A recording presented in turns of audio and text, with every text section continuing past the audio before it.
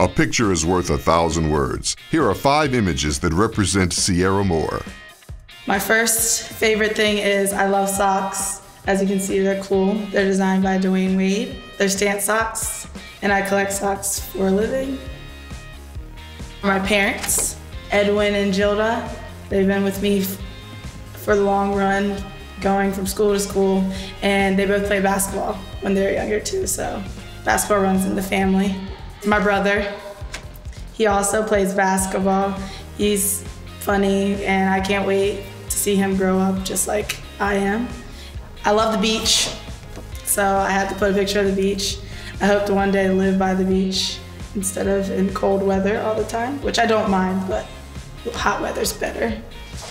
You know, when you grow up, you have to learn how to cook, so I like to cook now, and grilling is one of the new things I just learned. So it's really fun to cook and make food that people actually enjoy. I'm Sierra Moore, and these are my starting five.